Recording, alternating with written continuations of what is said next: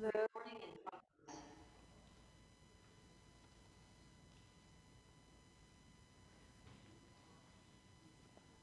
There is a lot of suffering in this world.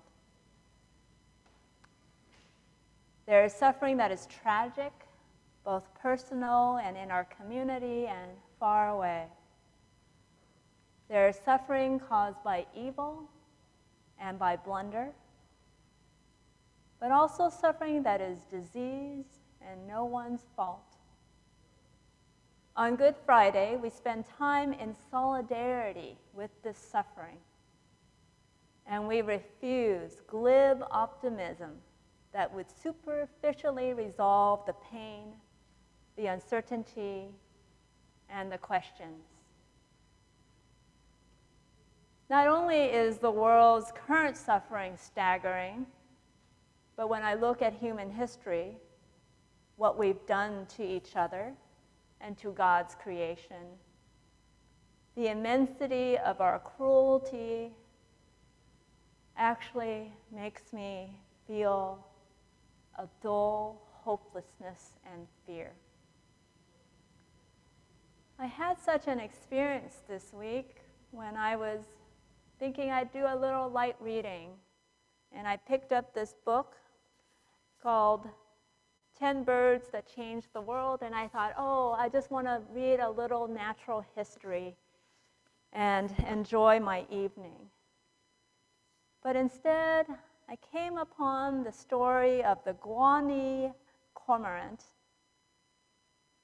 and its history utterly disturbed me. Let me read a little from this book.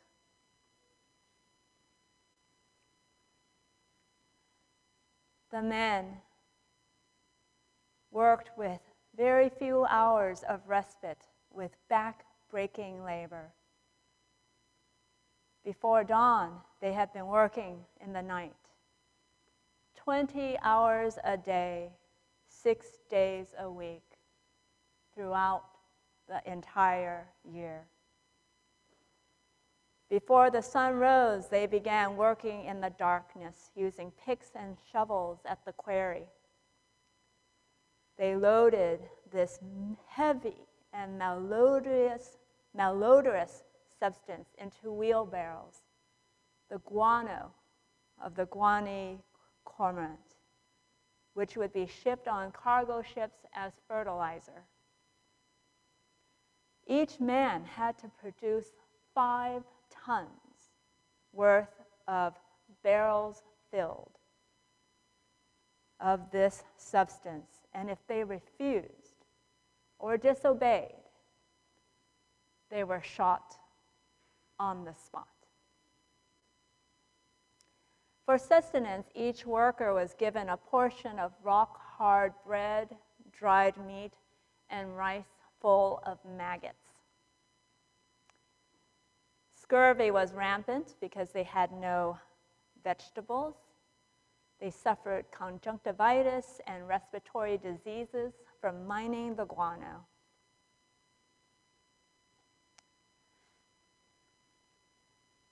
These men were brought here from Macau across the Pacific Ocean they were Chinese laborers who thought they were going to California to be a part of the gold rush. But instead, they were transported to these islands called the Chincha Islands of Peru. And there they were enslaved. On the journey, they were in cramped quarters in virtual darkness. And some people knew their fate were going to be horrific. And so some jumped overboard, and some hung themselves, and some stabbed themselves to death so that they would not face the horrors at the end of their journey. Between 1850 and 1874, 87,000 Chinese workers were enslaved on these islands. When they arrived from these ships, They traded one form of hell for another, all enslaved to work on the most valuable commodity in the entire history of global trade the guano of the Guanay cormorant that would be used for fertilizer and change everything we knew about farming.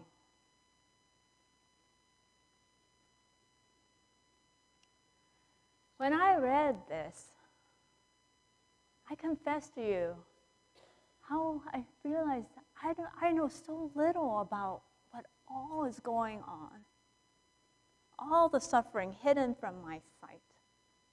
And not only that, these were my people. I had no idea.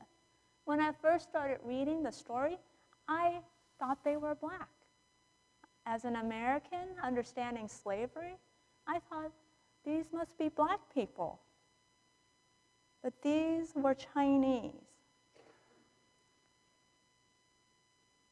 When I read this story, I had the same feeling I had when I first learned of the lynching of the Chinese in California during the Chinese Exclusion Act. And when I looked on those pictures of the Chinese lynched as they swayed in the trees and their tongues hung out and their faces were blue and their eyes were bulging. It scared me on a very personal level. It had become very proximate, this kind of suffering. I could imagine if I were here and my family were here just a few years earlier, could they have been my brother? Could they have been my father? What would it be like for all of us to come that proximate to pain and suffering? Feel it in our own bodies. I recall when speaking with a priest at the time when Russia started attacking Ukraine, and the Ukrainian, Ukrainians were fleeing for their lives. And this Anglo priest said to me, astonished at the suffering, and he said, They look like us. By us, of course, he meant white. When suffering can come that proximate to our bodies, whether they be black bodies, yellow bodies, or white bodies,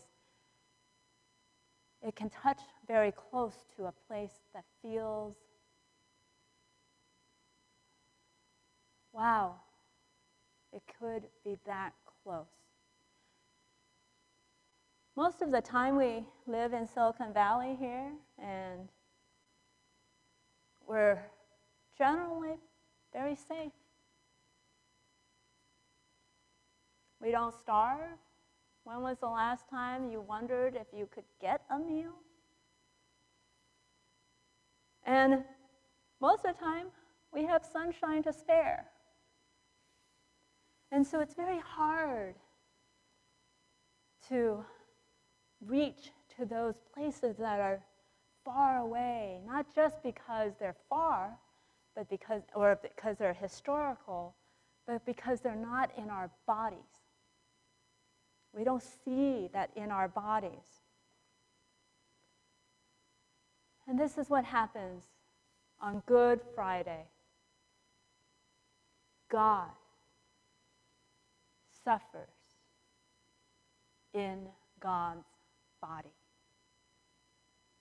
coming proximate to all the pain and suffering, a God who would know all the suffering and the pain. And we testified to this truth on Good Friday that out of God's immense love for the world And not just world in an abstract way, but because God is God, God understands each and every person's suffering. And God has taken on that suffering out of immense love to be close to everyone who suffers. That is the kind of love we mark today. So when Jesus came, he not only threw his lot in with all the crucified men on those hills of Jerusalem, and it wasn't just two others, it was hundreds of people on those hills of Jerusalem. He threw his lot in with them, with the black slaves that were in America, the Chinese slaves in Peru, the Ukrainians murdered in the war, the people of Gaza, and every reach that is beyond our sight and our perception in the world. He bore all this with us out of love. Jesus calls everyone his friend. And because we are his friends, he says, there's no greater love than this to lay down one's life for one's friend. And our God does this. What love is this? And this is Good Friday. Why do we call it good? Why do we call it good? Is suffering inherently good and redemptive? Should we chase after suffering? Should we think, oh, well, they're suffering, so they, they get brownie points? No. No. We call it good because on the day of crucifixion, God is here. There is no place where God is not. Like the word goodbye means God be with you, Good Friday is God's Friday. God plants God's very self among the suffering. It is solidarity. God's Friday is a day of solidarity, and it is a proclamation of the realities in which we live.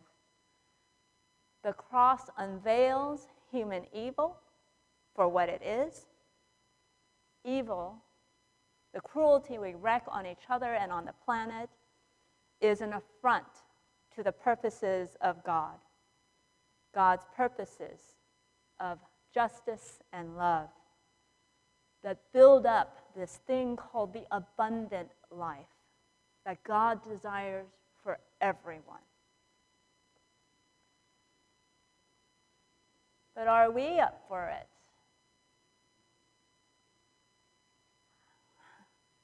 It's hard looking at all of it to feel courage. And more relevant in my own context, where do I get the time? All this busyness. How? How, Lord? How do we participate in the repurposing of all that is cruel and broken for your love and justice so that all might share this abundant life that you want for us? And that is the question that the disciples asked How? We don't know the way. Show us the way, and we will be satisfied. And their hearts were filled with sorrow. And Jesus showed them the way. He told them, and today on Good Friday we read from the Gospel of John. The Gospel of John says that when Jesus died and rose and ascended, this three thing here is not just one thing that we mark on Good Friday for in the Gospel of John. It's this thing called being lifted up. He's lifted up on the cross, lifted up in resurrection, lifted up in the ascension. And all of this is folding in on each other. And this, this is the way. It's very hard to understand what this means to live in this paradox and in the simultaneous reality of crucifixion, resurrection, and ascension. And yet, this is the invitation Jesus keeps giving back to the disciples. So that when it all happens, the suffering is never the only thing. It's never just the one thing. Jesus' ascension will always be part. The new life will always be a part. So, how do I image this paradox? I've tried to image this paradox. And this is how I think about it. I consider the image of Jesus on the cross. And then I image this liquid light saturating the cross, saturating all that's around the world and myself. So that the cross does not disappear, but it is one with this thing that Jesus calls my hour of glory.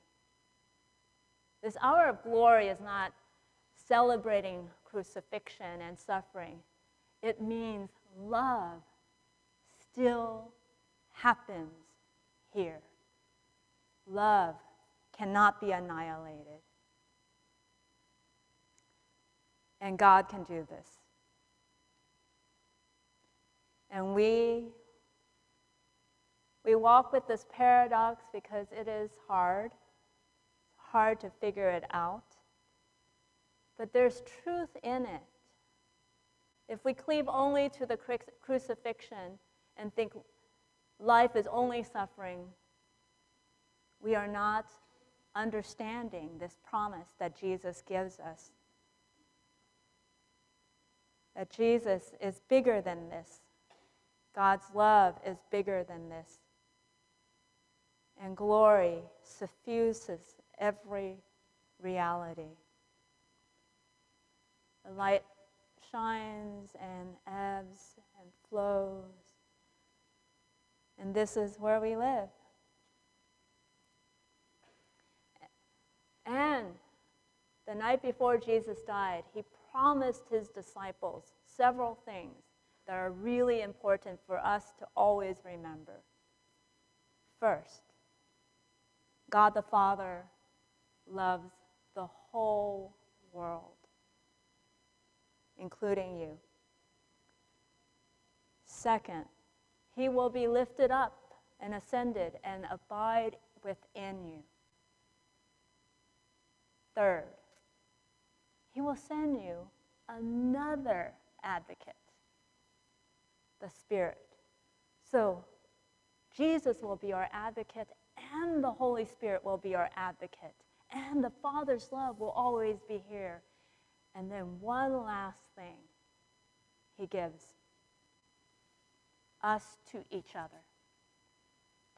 Love one another as I have loved you. With all this, the Father's love, the abiding of Jesus within us, the advocate who comes to encourage us, and one another, we are protected and given courage to continue in a world that won't get fixed as we desire, but we get to participate in the love